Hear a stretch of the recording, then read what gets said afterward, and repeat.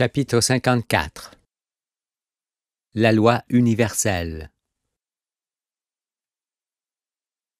En ce jour de ma visite annoncée, moi l'Éternel, votre Créateur, je m'adresse à vous tous par celui que j'ai appelé au soir du premier monde, pour vous éclairer et vous faire connaître ma volonté dans tous les âges. Par mon Fils unique, je vous apporte la lumière et les règles de la vie, afin que la liberté, la justice, la paix et l'ordre soient à jamais la sainte union des peuples sous le soleil. Votre existence sera dorénavant accompagnée de mes préceptes et de mes ordonnances, qui vous maintiendront éloignés du mal, et vous garderont intègres et libres durant tous vos jours. Aussi, dans vos pays, il n'y aura point de gouvernement, ni de puissance au-dessus de la ville sainte. Qui sera la plus haute autorité après moi, votre Dieu la cité de mon royaume, dans laquelle vous vivrez, est la ville sainte qui exercera sa souveraineté sur elle-même, selon les règles que je vous inculque, pour garder votre âme vivante et vous mettre à l'abri de tout danger. Pour rester saint d'esprit et responsable de ses actes, chacun se jugera par ma loi. Il pourra alors veiller à ce que personne ne tente à nouveau de s'asseoir sur mon trône pour imposer sa volonté, car je n'ai donné à aucun homme le droit de régner sur l'homme, qu'il n'a point créé. Les douze juges. Les fondements de la cité et le traitement de ses affaires reposeront sur un comité, qui sera aussi un tribunal qui rendra la justice chaque mois. Cet organisme public sera composé en permanence de douze juges. Ces hommes seront tous volontaires, mariés, pères de famille et exempts de maladies graves. Tous auront plus de cinquante ans. Ils se distingueront par leur sagesse et leur moralité. Ils ne jouiront d'aucun privilège et n'auront d'autres droits et pouvoirs que ceux que ma loi donne à chacun de vous. Irrépréhensibles, ils seront mes fidèles serviteurs. Pour faire appliquer leurs décisions de justice, qui seront irrévocables. Ils demanderont aide aux habitants de la cité. Tous les mois, ils tiendront séance ensemble avec leur épouse à leur côté, mais ne seront que douze voix. Il n'y aura point de juge unique. Telle est ma volonté. Toi donc, qui seras en charge de statuer, tu prendras mon nom, et tu jugeras par moi en mon nom et non par toi au nom du peuple. Dans mon temple, tu es le défenseur de la terre et de tout ce qui vit. Ange de Dieu, tu ne dois jamais faillir dans tes jugements, car c'est avec mon esprit que tu statueras pour honorer mon nom et accomplir ma volonté. La vérité ne peut supporter le partage. C'est pourquoi tout jugement devra faire l'unanimité des douze juges, s'il ne peut en être ainsi après trois séances successives, le jugement sera annulé. La culpabilité et les sanctions. Lorsque sa culpabilité sera flagrante et incontestable, l'accusé sera arrêté et conduit devant ses juges, qui décideront de son châtiment en fonction de son âge et de la gravité de sa faute mais nul ne doit être montré du doigt, accusé, retenu, jugé ou condamné uniquement sur des présomptions ou de simples convictions. Si toutefois celui qui a commis une faute irrémissible échappe au jugement de ses frères, il sera châtié au double par moi, l'Éternel. Seul moi, ton Dieu, qui t'ai créé à mon image, je décide des punitions que le tribunal de la cité infligera aux pécheurs. Voici, selon la gravité de son crime, le malfaiteur sera jeté hors de la cité pour un temps ou pour toujours, ou humilié publiquement, ou sévèrement corrigé sans être mutilé, ou encore puni de mort. Il n'y aura point d'autre châtiment. Chaque tribunal décidera des manières d'appliquer ces sanctions. Mais celui qui sera condamné à mort devra quitter le monde loin des regards et hors du territoire de la communauté.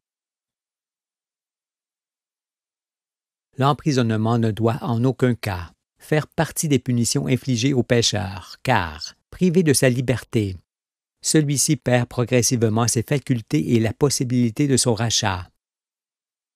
La détention doit seulement permettre de retenir le coupable avéré, pour le juger et le châtier.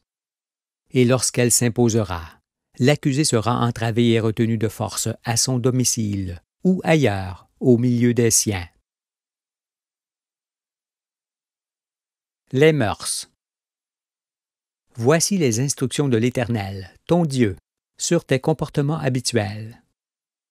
Tu n'auras point d'autre Dieu devant ma face, ni d'autre loi que ma loi. Tu ne feras point de figure, de figurine, de sculpture quelconque ou de statue représentant des personnages dans lesquels tu te confies et devant lesquels tu te prosternes. Car moi, l'Éternel, ton Dieu, je suis un Dieu jaloux, tu ne prendras pas le nom de l'Éternel, ton Dieu, en vain, car l'Éternel ne laissera point impuni celui qui prendra son nom en vain. Tu accorderas à l'homme et à la femme les mêmes droits. Tu n'établiras point de hiérarchie. Tu honoreras ton père et ta mère, afin que tes jours se prolongent dans le pays que l'Éternel, ton Dieu, te donne. Tu ne tueras point. Tu ne commettras point d'adultère. Tu ne convoiteras point ce qui appartient à autrui. Tu ne déroberas point. Tu n'opprimeras point tes semblables. Tu ne seras point médisant. Tu ne porteras point de faux témoignages contre ton prochain. Tu ne t'abstiendras point de dire la vérité en toutes circonstances. Tu n'œuvreras point dans l'ombre, à l'abri des regards. Tu veilleras à ne mettre personne en danger. Tu interviendras auprès de tout être en difficulté. Tu vivras à l'heure solaire, et tu commenceras l'année nouvelle au solstice d'hiver. Mets en pratique mes anciens commandements et ceux que je prescris aujourd'hui à mon Fils pour qu'il assoie mon royaume.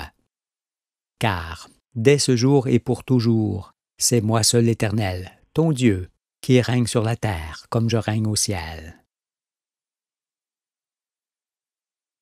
Les pratiques interdites. Désormais, vous connaissez votre devenir et celui du monde. Aussi, vous sortirez promptement de votre cité. Quiconque s'aventurera à prédire l'avenir ou prétendra communiquer avec les morts. Ma terre devant rester mon sanctuaire et celui de mes enfants bien-aimés. Vous chasserez également ceux qui s'adonneront à des rites, comme les cérémonies, les pèlerinages, les processions, les célébrations commémoratives, les incantations et les prières collectives. Dans mon royaume, vous repousserez vivement tous ceux qui tenteront de régner sur vous. Au besoin, vous les exterminerez. Vous agirez pareillement envers ceux qui auront l'audace d'établir une chaîne de subordination ou qui essayeront de former une secte, une force armée, une domination, une caste, pour que vous viviez en paix et que le monde ne connaisse plus l'horreur. Moi, le Créateur du ciel et de la terre, je vous demande d'abolir à jamais toute valeur en argent et de n'utiliser aucune forme de monnaie. Les comportements sociaux. Qu'ils soient hommes ou bêtes, tous les êtres doivent rester dans leur absolue liberté, sans aucune condition préalable venant de toi n'ayant à conquérir que la connaissance de la vérité. Tu seras souverain uniquement dans ton pays, qui est le pays originel du peuple duquel tu descends. Ta race, ton âge ou tes aptitudes ne te rendent nullement supérieur aux autres êtres humains. Si tu t'estimes au-dessus d'eux, je te punirai pour ton orgueil excessif. Tu mettras ton habileté et tes connaissances au service de tes semblables, sans rien leur demander en échange alors je te gratifierai au double de ce que tu auras donné.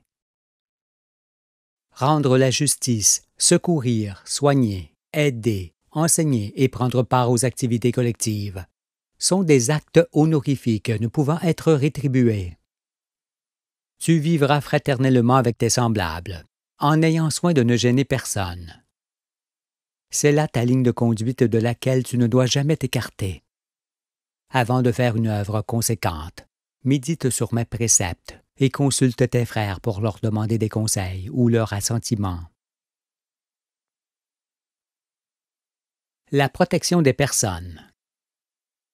Quel que soit son âge ou son état de santé, tout individu qui sera coupable de la mort d'un ou de plusieurs êtres humains innocents, ou qui tentera de les tuer, ou qui participera à un meurtre, sera puni de mort par le tribunal. Quiconque blessera ou tuera un malfaiteur en train de commettre un forfait ne sera nullement tenu pour coupable. Mais si quelqu'un commet un homicide involontaire sur un innocent par manque de précaution, il devra abandonner ses biens et quitter sa ville pour toujours. Ceux qui commanderont, produiront, détiendront des armes ou autres machines de guerre, ou en feront usage, seront condamnés à la peine de mort et exécutés aussitôt. Car tuer l'homme ou se préparer à le tuer, c'est lever la main contre moi, l'Éternel, ton Dieu. Seront pareillement éliminés ceux qui feront volontairement souffrir des êtres humains innocents, en les retenant prisonniers, en les forçant à faire ce qu'ils ne veulent pas, en les privant d'eau et de nourriture, en leur faisant subir des supplices, des offenses ou des sévices, en modifiant leur esprit, en les terrorisant ou en les séparant de force de leur famille cette sentence ne s'éteindra point dans le temps. Toute personne qui maltraitera son conjoint, ses enfants, ses parents ou un animal devra être réprimée. Si on ne peut parvenir à la ramener à la raison, le tribunal la punira sévèrement. Pour que vos enfants gardent le visage humain et ne deviennent la honte du ciel, vous priverez de leurs biens et expulserez vigoureusement de vos cités les homosexuels, et tous ceux qui s'accouplent en groupe. Et vous punirez de mort toute personne qui fornique avec des bêtes, ainsi que les pédophiles, les incestueux et les violeurs. Même adolescent, le voleur ou le destructeur restituera au double la valeur de ce qu'il aura dérobé ou détruit. Si après cette sanction, il persiste à commettre des méfaits, il sera extrait du monde. Ainsi, vous empêcherez le développement du mal, qui doit constamment être maintenu enseveli, sous vos pieds. Tout dommage causé à autrui devra être réparé par son auteur. Mais s'il s'avère que le préjudice est commis par volonté de nuire, l'auteur du délit sera privé de ses biens et expulsé définitivement de la cité, ainsi que toute personne ayant éventuellement contribué au méfait. Cette sanction s'appliquera aussi à ceux qui persisteront à créer consciemment une nuisance quelconque. L'incendiaire volontaire des biens d'autrui ou des forêts est indigne de mon sanctuaire. Il sera puni de mort.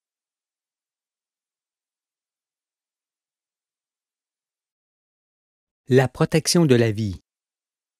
Moi l'Éternel, ton Créateur, je te défends formellement de pratiquer la greffe d'organes ou d'autres parties du corps qui font l'objet de rejet. Préserve l'intégrité de tout être vivant.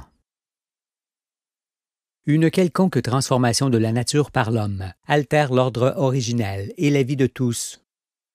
Tu t'abstiendras alors formellement de modifier la nature des organismes vivants, sinon tu seras puni de mort et exécuté. Toute créature doit être conçue et venir au monde selon les règles de la nature. Tu pourras toutefois interrompre la vie d'un être à sa naissance, s'il est atteint de graves malformations.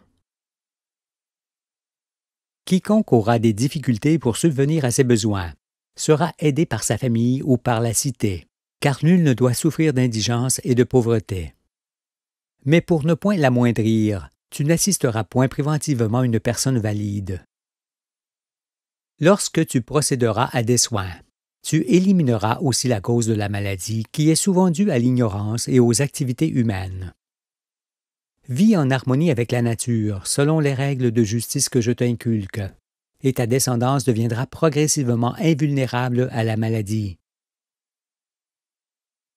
De ta propre initiative, tu n'interrompras point la vie d'une personne condamnée qui meurt lentement, sauf si c'est moi, ton Dieu, qui te le demande en ton cœur et te pousse à le faire la personne âgée ou l'enfant handicapé sera pris en charge par sa famille et ne sera pas remis en d'autres mains ni en d'autres lieux. Tu ne feras pas avorter la femme qui s'y refuse et qui n'est point victime d'un viol ou d'un inceste. Tu te conformeras à ses désirs d'enfantement, Tous les êtres de ma création sont utiles. C'est pourquoi tu ne feras rien qui puisse faire disparaître de la terre une espèce quelconque. La protection des peuples et des races. Dans mon royaume où vous serez libres, je ne veux point de nation ni de frontières artificielles. Il ne s'y trouvera que des peuples souverains, parlant leur propre langue, et séparés les uns des autres par des limites naturelles. L'union des peuples se fera d'elle-même par la connaissance.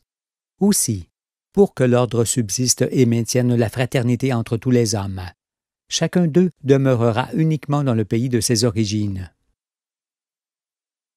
Tout individu qui abandonnera sa famille et son peuple pour s'établir dans un pays où les habitants sont d'une autre race que la sienne sera considéré comme un lâche. Il sera refoulé par toutes les communautés du royaume. Afin qu'elle soit intègre, ta cité ne sera nullement constituée d'hommes et de femmes de races différentes. Toute personne est une partie intégrante et intime de son peuple, qu'elle ne doit point abandonner. Dans un autre pays que celui qui est à l'origine de ton peuple, tu seras toujours un étranger, un visiteur pouvant y séjourner, mais sans y établir ta demeure, ni procréer. Tu ne prendras pas ton conjoint dans une couleur d'homme autre que la tienne, car le sang mêlé uniformise et affaiblit l'humanité. Ton véritable conjoint se trouve parmi ceux qui te ressemblent. Demande-le-moi, et je te le donnerai. Ailleurs que dans son pays, tout individu est un étranger qui a besoin d'assistance. Sois donc charitable et bienveillant envers l'étranger qui t'honorera de sa présence. Le désir de connaître le monde te poussera toujours à visiter d'autres pays. Toutefois, ne cherche pas à voyager constamment, car le voyage est une récompense qui doit garder toute sa valeur. Chacun parlera sa propre langue et ne fera point un usage courant de la langue d'autrui, car la langue d'un peuple est l'esprit de ce peuple, qui ne doit point être troublé par un esprit étranger. La protection du jardin. Tu ne changeras point le relief, les rivages et les sites de la terre, et tu laisseras couler les eaux librement. Même si elles inondent, tu n'en changeras pas le cours ni leur feras de barrage. Tu utiliseras l'eau pour tes besoins, mais sans en priver ceux qui vivent en aval ni assécher les lieux où elle se trouve. Pour que tout reste pur et que ta santé ne soit affectée, tu n'utiliseras que des produits naturels pour traiter tes cultures ou enrichir tes champs. Tu seras alors dans l'abondance, car la maladie s'en ira loin de toi.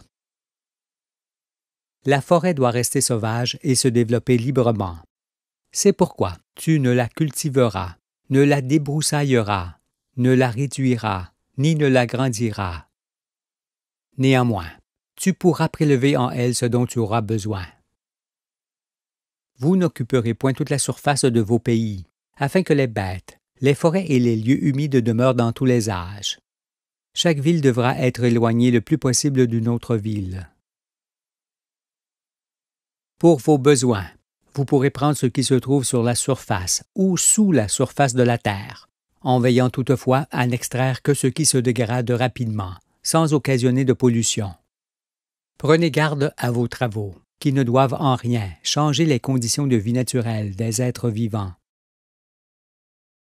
Ici, dans mon sanctuaire, chaque maison détruira elle-même ses déchets et enfouira ses eaux sales.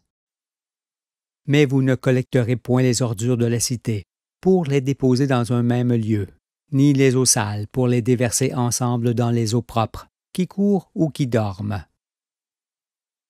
Où que ce soit, il ne doit y avoir aucune souillure ni pollution, car l'enfant doit toujours naître dans un jardin pur, pour que l'homme reste pur dans tous les âges. Quiconque polluera la terre, l'eau et l'air sera fortement châtié. S'il persiste à nuire, il sera exécuté, chaque région est précieuse et doit garder son originalité. Alors tu ne feras point de voies de bitume, de ciment ou de fer qui défigurent les sites, empêchent l'écoulement des eaux, démembrent et dévastent les campagnes. Tu n'en feras point car, modifier la nature, c'est affecter tous les vivants. Tu entoureras tes champs d'une haie, et pour ne point profaner la terre, tu ne la cultiveras qu'avec la force animale ou celle de tes bras. Tu n'utiliseras par ailleurs que les forces naturelles, qui sont largement suffisantes pour tes besoins. Les bêtes et les sites devront tous rester sauvages, tels qu'ils étaient au commencement. Ainsi, le jardin terrestre demeurera éternellement, et ta postérité sera saine et heureuse. La protection des animaux.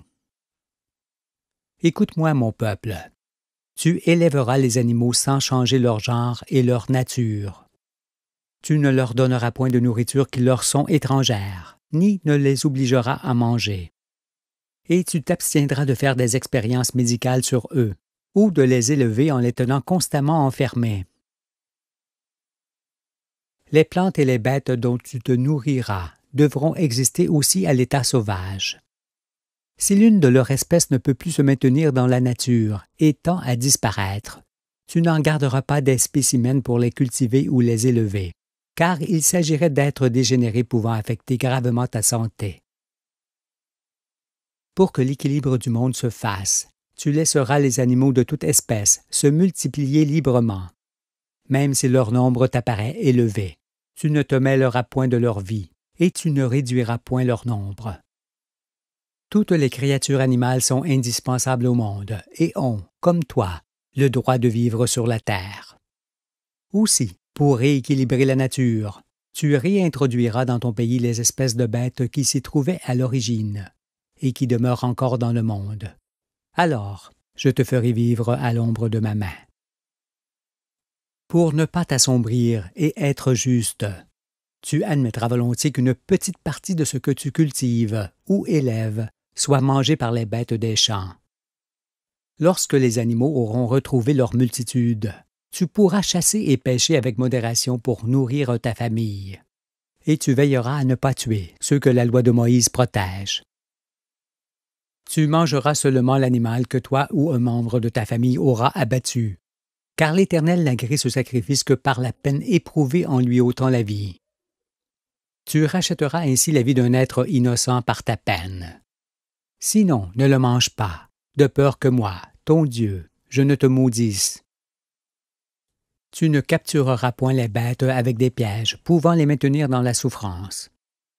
Et, pour les chasser, seules les armes utilisant la force humaine sont admises par moi, l'Éternel. Toute arme d'une autre nature sera bannie de mon royaume, où elle ne peut être tolérée. Tu ne braveras point les animaux par jeu, et tu ne les feras point se battre entre eux, ni ne les dresseras pour qu'ils attaquent l'homme. La cité et ses activités. La ville sainte du royaume est aussi ton Église, au sein de laquelle il n'y aura point d'autre directive que celle donnée par ma loi. Tu veilleras, alors, à ce qu'il ne s'établisse point de hiérarchie, de réglementation, de domination, d'obédience, de subordination, de dépendance, ni de prélèvement obligatoire. Toute famille de la tribu disposera d'une surface de terre qu'elle cultivera pour subvenir à ses besoins. Sois donc bienveillant et équitable avec tes semblables lors de la répartition des sols et des espaces. Pour qu'il n'y ait point de calamité, tu bâtiras ta cité loin des endroits dangereux, comme le sont les alentours des volcans, les lieux qui s'inondent ou s'ensevelissent, ainsi que les régions où le sol tremble ou peut glisser. Ta cité, que tu bâtiras dans des lieux non arides, devra se mêler discrètement à la nature. Et pour qu'elle reste dans les mesures humaines, sa taille devra toujours permettre d'en sortir en marchant peu de temps. Le nombre d'habitants de la ville sainte ne devra jamais dépasser les ressources du territoire nourricier, au milieu duquel elle sera bâtie. Lorsqu'elle sera formée et rendue viable en toute indépendance, plus de demeures ni d'édifices ne seront construits. Tu n'imagineras et ne réaliseras aucune œuvre éternelle. Et pour que tes enfants restent en contact avec d'autres enfants, tu ne feras pas ta maison isolée de la cité. Tu la dresseras avec celle des autres. Vous ne bâtirez point de maison sur maison pour habiter famille sur famille. Vous habiterez côte à côte seulement, et avec des maisons entourées de terre et suffisamment espacées les unes des autres. Chacun bâtira sa demeure selon sa conception personnelle et l'habitera, mais nul ne bâtira une maison pour qu'un autre l'habite. Tu ne construiras point de palais, de temples, de lieux du culte, d'édifices symboliques, ni quoi que ce soit de grandiose, car ce sont les œuvres de ceux qui sont déficients en esprit et enflés de vanité. Animé par le Saint-Esprit, ta cité sera une communauté composée de familles indépendantes, solidaire et fraternelle. C'est pourquoi, pour veiller au bien-être de tous, tu seras constamment à l'écoute des habitants. Pour te mettre à l'abri de maladies graves, tu te nourriras exclusivement de tes produits ou de ceux de ta cité. Et par la gratuité de toutes choses, qui laisse libre cours à l'abondance, tu ne manqueras jamais de rien. Afin que les plantes, les bêtes et les hommes ne soient dérangés, tu n'éclaireras pas ta cité la nuit comme en plein jour, et tu ne feras point de vacarme, de jour comme de nuit, sinon tu seras expulsé. Pour que les êtres vivants soient toujours sereins et protégés, moi l'Éternel, ton Dieu, je te demande de ne jamais employer l'atome, ni toute autre matière explosive ou toxique. Quiconque se détournera de ce commandement sera puni de mort par le tribunal. Toute mise en œuvre de matières premières pouvant occasionner quelque nuisance ou autre danger, devra obligatoirement s'effectuer à l'extérieur du territoire de la cité. Tu ne construiras point de véhicule ou autre engin utilisant la combustion pour se mouvoir, car tu serais contraint de leur sacrifier la terre entière. Néanmoins, tu pourras pratiquer toute industrie qui n'a pas de conséquences malheureuses sur les êtres vivants ton plus grand ennemi étant l'inutile. Tu ne produiras que ce qui est indispensable à ta vie et à celle de tes proches. Quoi que tu fasses, tu ne peux augmenter le nombre de tes jours, mais seulement les réduire si tu me désobéis. Car c'est moi l'Éternel, ton Dieu, qui t'anime de mon souffle. Pour que chaque chose varie d'une autre et enrichisse la diversité. Tu ne créeras aucune mode, ni ne feras de maison, de vêtements, d'objet ou quoi que ce soit d'uniforme. Homme ou femme, chacun se vêtira comme il l'entendra dans mon royaume, et fera ce qui lui plaira, en fonction de la loi. Lorsque vous vous mesurerez les uns les autres par des jeux, vous ferez attention à ne pas y laisser votre âme, car, lorsqu'on est vainqueur, on n'est pas forcément glorieux. La famille l'union de l'homme et de la femme sera libre. Et je la bénirai lorsque Ève perdra manifestement sa virginité. Cela étant le seul acte solennel par lequel vous serez mariés devant moi. L'Éternel, votre Dieu. La famille est la force de l'homme. C'est pourquoi tu laisseras les enfants en âge de fonder une famille, libres de choisir eux-mêmes leurs conjoints, sans contrarier leurs projets. Tu veilleras seulement à ce qu'ils ne prennent pour époux ou épouse quelqu'un de leur parenté, ou une personne atteinte d'une grave maladie incurable et transmissible. Adam et Ève, je vous ai créé forme et empreinte, pour que vous puissiez vous épouser et que vos enfants naissent de votre amour. Mais votre sentiment d'attirance réciproque ne peut résister aux tempêtes soulevées par l'infidélité. Soyez donc fidèles comme le soleil et la terre le sont l'un envers l'autre. Car je punirai l'adultère par la solitude et des jours sans joie, pouvant entraîner la mort du pécheur. Adam, tu montreras la voie droite aux membres de ta famille, pour que chacun sache où se trouvent les limites qu'il ne doit point dépasser. Ève, tes menstruations sont pour purifier ton sein à des fins d'enfantement et ta virginité est ton honneur. Reste donc vierge jusqu'à ce que tu fondes une famille, sinon tu altéreras ta réputation et tes jours seront malheureux. Pour créer une famille ou pour d'autres raisons, vous pourrez habiter la cité de votre choix.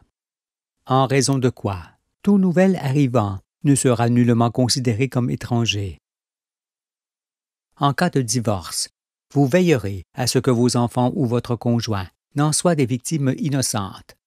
Sinon je ne le supporterai pas. Tu ne t'éloigneras point de ton père et de ta mère lorsqu'ils seront âgés, de peur que moi, ton Dieu, je te rejette. Et tu laisseras tes enfants dans leurs mains, car ils sont la mémoire du vécu et les fondations de la tribu. Et quand les portes de leur sens se refermeront, tu comprendras leur défaillance et tu feras preuve de beaucoup d'indulgence à leur égard. La tendresse, l'affection et les soins que tu leur dispenseras ne seront jamais de trop. L'éducation. Vous veillerez à ce qu'il y ait toujours parmi vous quelqu'un qui s'élève bien haut, jusqu'à mon autel, pour enseigner la vérité à ceux qui ne le comprennent pas d'eux-mêmes. Car c'est ainsi qu'agirent les prophètes à l'égard du monde, et auquel vous devez votre salut. Quelle que soit l'apparence, l'âge, l'attitude ou la notariété de la personne avec laquelle tu converseras. Tu t'adresseras à elle comme tu le fais avec ton frère ou ta sœur. Et tu t'adresseras à moi, ton Dieu, pareillement, comme un enfant parle à son propre père.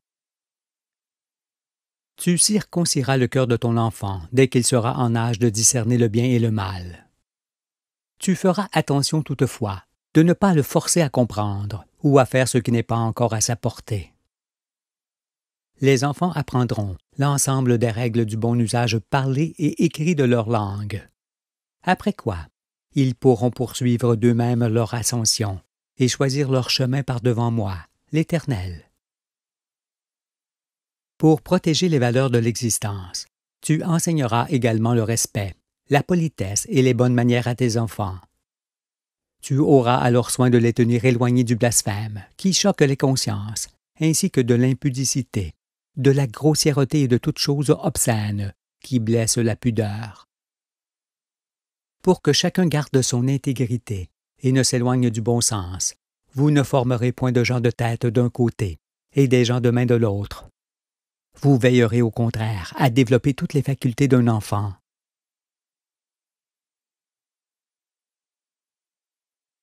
La jouissance des biens et de la liberté. La terre est la mère des vivants, que l'on ne doit point s'accaparer ni vendre. En raison de quoi toute parcelle de terre appartiendra à celui qui la travaillera ou l'habitera. Tu pourras ainsi poursuivre l'œuvre de tes prédécesseurs. Mais tu n'auras en propre que ce que tu cultives, élèves ou bâtis avec tes mains. La maison familiale, les cultures et le bétail sont l'héritage naturel des enfants. Mais quiconque quittera la cité pour s'établir ailleurs perdra cet héritage. Et la maison non habitée et le champ non cultivé seront mis à la disposition de ceux qui en auront besoin. Moi l'Éternel, ton Dieu, je ne veux ni négrer aucun sacrifice de ta part à mon égard, car j'ai cela en aversion. Tu t'abstiendras alors de te priver des bonnes choses, ou de t'isoler, ou de te meurtrir, ou de te sacrifier pour attirer mes regards, ou encore de tuer des êtres pour me les offrir, sinon je te maudirai. Tu vivras paisiblement, sans te préoccuper des jours lointains. Tu profiteras au contraire du jour dans lequel tu te trouveras, car c'est moi, ton Créateur, qui prévoit tes lendemains, selon ma science dans laquelle tu n'as pas à intervenir. La récompense.